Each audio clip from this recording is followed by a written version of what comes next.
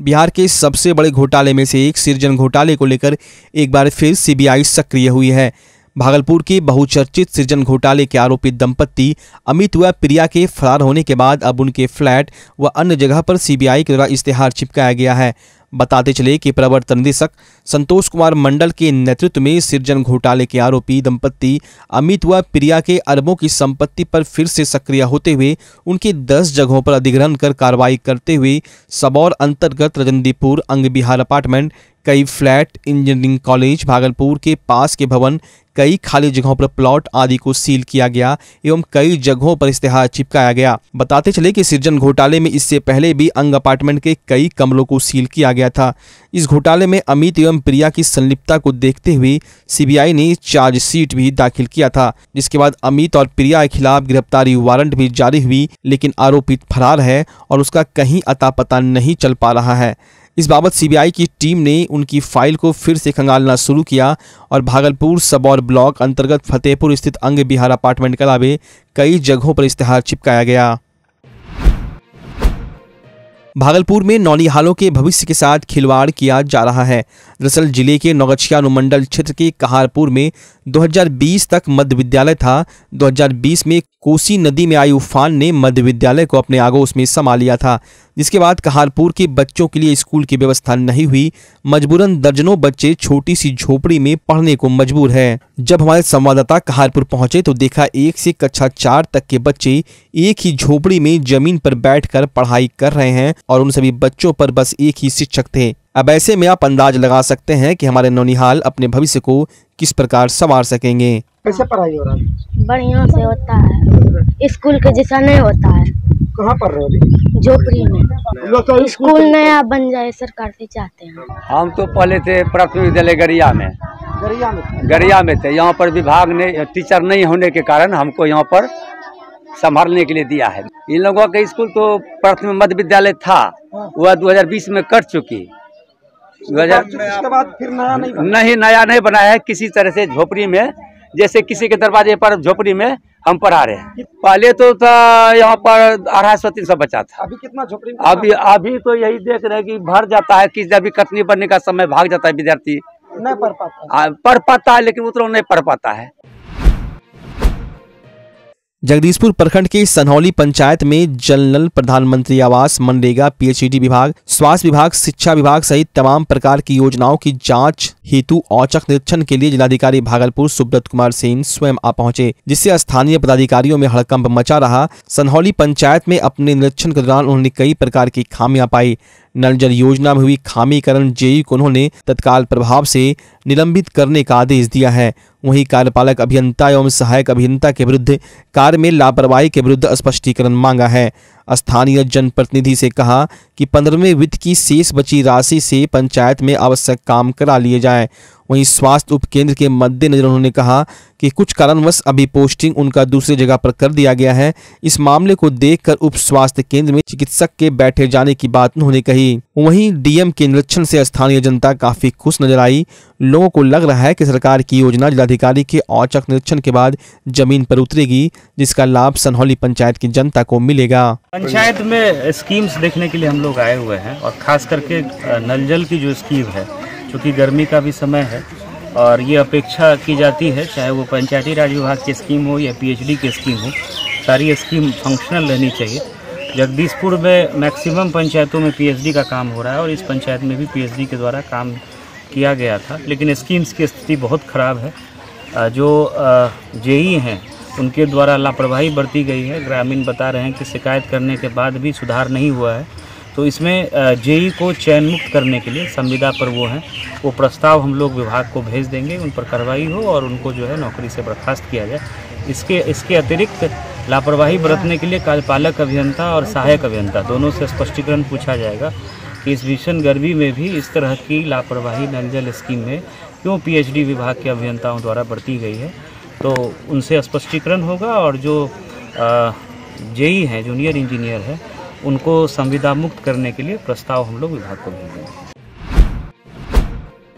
रोटी, कपड़ा, मकान जैसी बुनियादी सुविधाओं के लिए जिनके पास मकान नहीं है, सरकारों ने प्रधानमंत्री आवास योजना के माध्यम से आवास देकर छत मुहैया करा रही है। लेकिन जगदीशपुर प्रखंड के इमामपुर पंचायत में दशकों से रह रहे महादली टोले के 80 घरों की बस्ती को उजाड़कर सरकार अपना ज़मीन अतिक्रमण मुक्त करा रही है।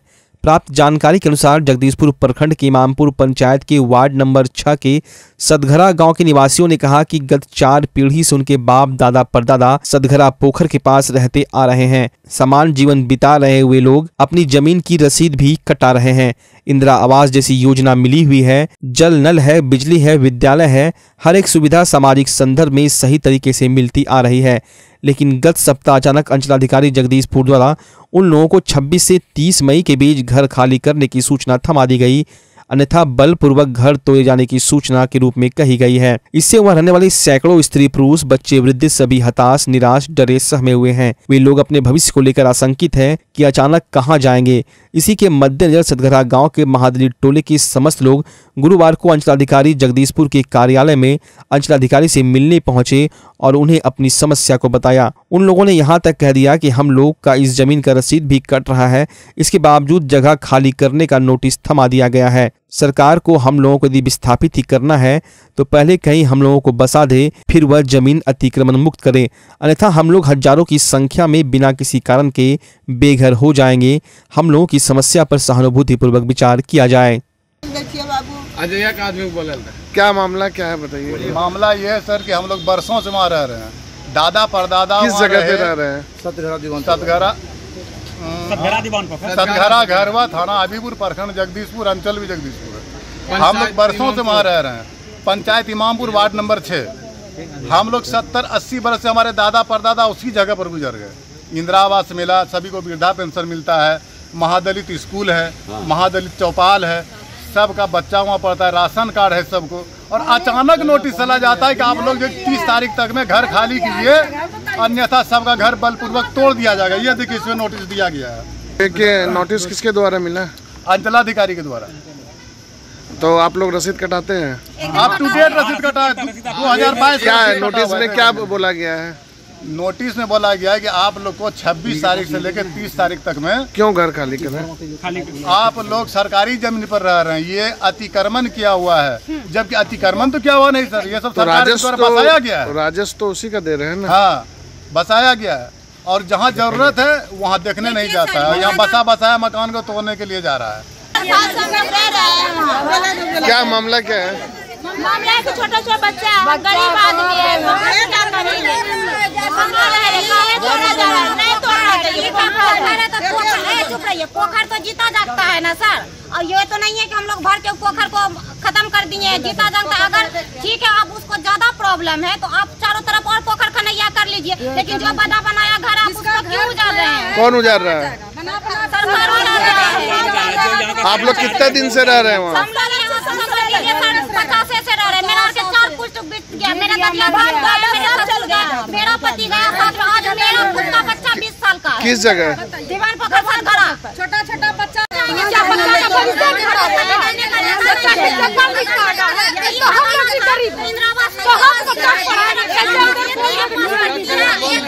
कौन घर कौन तोड़ रहा है घर तोड़ा सरकार की सरकार का आदेश है ऊपर सरकार तो गरीब लोग कहाँ आप लोग का कहीं घर नहीं है और बोला जाता है कि सरकार ज़मीन देता के लिए कितना दिन से कितना दिन से रह हैं? दो बरस से रहे उन्नीस सौ पंचानवे से रहे बाप दादा बाल बच्चा सब साथी रहे। ना करे जो बाबू। की दिक्कत छै? हमरा हनेर घर नहीं छै द्वार नहीं छै कि नहीं जेबे रेबे मछली बाल बच्चा लेकर पानी का दर दिन छै बाबू। कहाँ से? कहाँ सद घर से मतलब पानी पड़ते बाल बच्चा छोटो छोटो लेकर कि नहीं जेते बाबू। घर से के भगाए छै भगा के तोड़ देंगे। यहाँ से खाली करो घर। के बोल के? सीओ सब सुनो बोले छै कि घर खाली करो घर नहीं तो तोड़ देंगे। सुल्तानगंज थाना क्षेत्र के तिलकपुर पंचायत के कोलगाम गाँव के मुखिया घर के समीप बाइक सवार तीन युवकों द्वारा हथियार दिखाकर एक युवती को डराते धमकाते देख ग्रामीणों ने तीन युवकों को खदेड़ा जिसमें एक युवक मौके से फरार हो गया। पकड़े गए अपराधियों की पहचान दिलगौरी निवासी मोहम्मद लदाम और मोहम्मद सैफ के रूप में हुई है। ग्रामीणों द्वारा अपराधियों को पकड़े जाने की सूचना मिलते ही सुल्तानगंज थाना पुलिस मौके पर पहुँची और दोनों अपराधियों को अपने कब्जे में ले लिया। वहीं मुखिया अमित कुमार ने बताया कि हमारे घर के समीप तीन बाइक सवार युवक हथियार लहरा रहे थे। मैं वीडियो के साथ पंचायत जाँच कार्य में व्यस्त था, तभी ग्रामीण विशाल कुमार, छोटू कुमार द्वारा फ़ोन से सूचना मिली कि बाइक सवार तीन युवक हमारे घर के समीप हथियार लहरा रहे हैं। इसकी सूचना तुरंत थानाध्यक्ष को देने पर एसआई किरण सोनी दलबल के साथ पहुंचकर हथियार के साथ दो युवक को गिरफ़्तार कर लिया गया। वहीं मौके से फरार अपराधी की गिरफ्तारी को लेकर पुलिस लगातार छापेमारी कर रही है। युवा समाजसेवी विजय कुमार यादव भागलपुर के कई वार्डों में लगातार जल संकट को खत्म करने के लिए बोरिंग का निर्माण करवा रहे हैं। उसी क्रम में भागलपुर के वार्ड नंबर 43 में पेयजल की समस्या से निदान को लेकर युवा समाजसेवी विजय कुमार यादव के द्वारा एक बोरिंग का उद्घाटन किया गया। जिससे मोहल्ले वासियों को पानी की समस्या से निजात मिलेगी इस दौरान स्थानीय लोगों ने समाजसेवी विजय यादव की जमकर सराहना की मौके पर काफ़ी संख्या में महिला पुरुष मौजूद थे हम लोग का बहुत दुख था पानी मांगे सोनू भैया से डेढ़ दो महीना से जा रहे हैं रहे मगर टैंकर भी आ रहा है दो दिन के बाद एक दिन के बाद पानी आ रहा है हम लोग को और फिर अभी भैया को बोले तो यहाँ करवा रहा है बोरिंग खुश सोनू भैया विजय भैया दोनों भैया मिली के हमरा के पानी गड़ाय रहलो छै कल। पहले पानी कहाँ से आने पड़े लोग सब पानी तो आने पड़े बजरंग बली से। दो तीन किलोमीटर दूर। कत्ता दूर पड़े छै हमरा के बहुते दूर से आनि रहलो छै पानी अखनी हमरा के पानी वो अभी गेले त हमरा के खुश हो गेलिए अखनी। भैया ने गड़ाय रहलो छै त ये तैतालीस नंबर वार्ड है और यहाँ पे मैं करीब पाँच दिन पहले यहाँ लोगों के द्वारा मुझे बुलाया गया था। और यहाँ पे आने के बाद जो है पता चला कि यहाँ पे जो प्याऊ पहले से था वो फेल हो चुका है और वो किसी परिस्थिति में ठीक नहीं होने वाला है और लोग यहाँ पे पानी के लिए बहुत ज़्यादा परेशानी में था। लोग एक, एक टैंकर पानी आता है यहाँ पे नगर निगम की तरफ़ से आता है लेकिन वो करीब करीब यहाँ पे दो ढाई सौ घर है। उसके लिए ये मतलब अवेलेबल नहीं हो पा रहा था कि उससे जो है सभी लोगों को पानी पी सके। तो मैंने घूम के देखा, यहाँ पे गली गली में, कि रियल में लोगों को बहुत ज़्यादा ज़रूरत है। उसको देखते हुए यहाँ पे आज जो है, एक प्याऊ का उद्घाटन किया गया है। उद्घाटन जो है, ये मैं अपना निजी कोष से यहाँ पे एक प्याऊ दिया गया है। भागलपुर के विक्रमशिला कॉलोनी रामसर स्थित प्रसिद्ध जंगली काली स्थान परिसर में जंगलेश्वर महादेव मंदिर के प्राण प्रतिष्ठा के ठीक पहले भोलेनाथ मैया पार्वती भगवान गणेश, कार्तिकेय जी और नंदी जी महाराज को नगर भ्रमण कराया गया। नगर भ्रमण शोभा यात्रा विक्रमशिला कॉलोनी स्थित मंदिर प्रांगण से निकलकर रामसर मंदरोजा गोलाघाट चौक, नया बाज़ार चौक, कोतवाली चौक होते हुए वापस मंदिर प्रांगण पहुंचकर संपन्न हुई। जिसके बाद ब्रह्मन स्वामी आगमनंद जी महाराज की मौजूदगी में काशी विश्वनाथ से आए विद्वान पंडितों के द्वारा सभी देवताओं का प्राण प्रतिष्ठा कराया गया। बाबा के नगर भ्रमण के दौरान पूरा वातावरण भक्तिमय हो गया। नगर भ्रमण में शहर के सैकड़ों लोगों की भीड़ उमड़ पड़ी। सभी लोग भक्ति में सराबोर दिखे।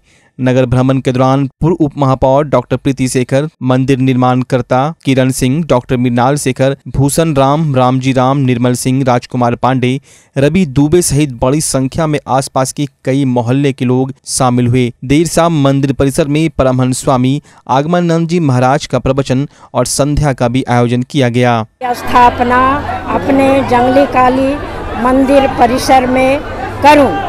बाबा भोलेनाथ, मेरे विक्रम शिवा निवासी, प्लस राम सर, भागलपुर शहर वासियों का कल्याण करें, रक्षा करें, खुश रखें, सुख समृद्धि दें। सुल्तानगंज प्रखंड के प्रखंड विकास पदाधिकारी मनोज कुमार मुर्मू अधिकारियों के साथ तिलकपुर पंचायत में चल रहे विभिन्न योजनाओं के निरीक्षण करने पहुँचे। इस दौरान प्रखंड विकास पदाधिकारी ने जन वितरण प्रणाली की दुकान, हॉस्पिटल, मुख्यमंत्री सात निश्चय योजना से चल रहे विभिन्न विकास योजनाओं, मनरेगा और आवास योजनाओं के तहत चल रहे कार्यों का जायजा लिया। सभी कार्य संतोषजनक पाए जाने पर मुखिया अमित कुमार ने नए कार्य के लिए पंचायत सरकार भवन, आंगनबाड़ी भवन और नए लोगों के लिए राशन कार्ड बनाए जाने की मांग की। प्रखंड विकास पदाधिकारी मनोज कुमार मुर्मू ने मूलभूत आवश्यकताओं को जल्द से जल्द पूरा कराए जाने का भी भरोसा दिया। सभी कार्य जल्द पूर्ण होने की बात कही गई। इस दौरान उप मुखिया सत्यम कुमार सिंह, कार्यपालक सहायक निकेत कुमार, तकनीकी सहायक सारिक समीम, पंचायत सचिव फईज हरिजन सहित बड़ी संख्या में ग्रामीण मौजूद थे।